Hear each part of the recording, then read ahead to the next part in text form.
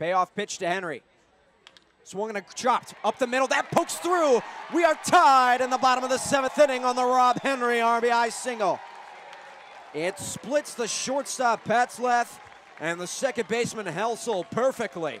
And with the infield brought in, it's harder to make those plays in between the gaps if you're an infielder.